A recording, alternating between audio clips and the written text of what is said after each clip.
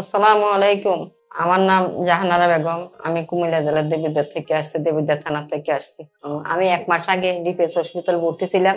রোগ ছিল শুধু স্ট্রোক করছিলাম স্ট্রোক করার পরে আমার ব্যথা হয়ে গেছে শরীরে তারপরে আবার দেখা গেছে রগের উপরে রোগ উঠে গেছে। এরপরে দেখা গেছে মাজার হাড় ক্ষয় হয়ে গেছে। এই চিকিৎসার জন্য আমি এখানে পনেরো দিন ভর্তি ছিলাম। ইনশাল্লাহ ভর্তির পরে আমি একটু ভালো হয়েছি, আমি বাড়িতে চলে গেছি। এখন এক মাস ওষুধ খাওয়ার পরে মোটামুটি ভালো আছি, যার জন্য আবার স্যারের সাথে দেখা করতে এসছি। না, ব্যথা আছে নাই। ব্যায়াম ওনারা কিছু কিছু বইলে দিছে, নিজে নিজে যা করা যায়, ওইগুলো বইলে দিছে, ওইগুলো করি, নিজে নিজে। ব্যায়ামগুলা করি। আর ওষুধ যা দিছে, ওষুধগুলো নিছি, এখান থেকে ওষুধগুলো নিছি, নেওয়ার পর এখন ওষুধগুলো ঠিক মতো খাইছি। এখন মোটামুটি ভালো আছি, আবার স্যারের সাথে সাক্ষাৎ করতে আসছি এখন স্যারে কিছু ওষুধ বাদ দিছে, আবার কিছু ওষুধ নতুন সংযুক্ত করে দিছে।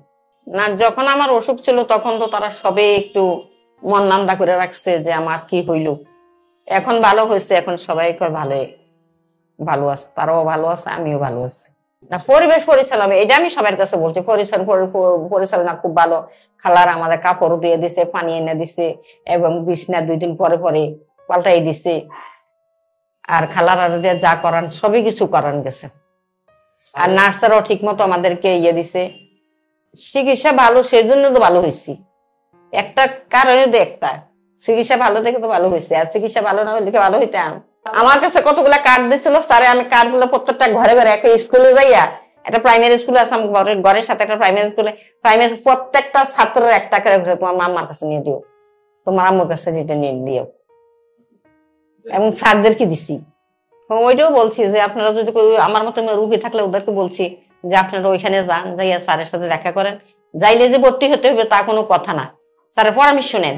সবাই আমার জন্য দোয়া করবেন, আমি ভালো আছি, আমি যেন আর না আসতে হয়। আমি যেন বাকি দিনটা যেন ভালোভাবে চলে যেতাম পারি। এই কামনা।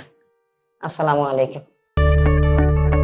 আমরা জানি আপনার প্রিয়জন আপনার জন্য কতটা গুরুত্ব বহন করে। প্রপার ডায়াগনোসিস কনসালটেশন পেইন ও প্যারালাইসিস চিকিৎসা পুনর্বাসন আমাদের সব আয়োজনই সবসময় আপনাদের জন্য চব্বিশ ঘণ্টা খোলা। আমরা চাই না আপনারা বারবার আমাদের কাছে ফিরে আসুন তবুও আমরা আছি সব সময় সর্বদা আপনাদের পাশেই।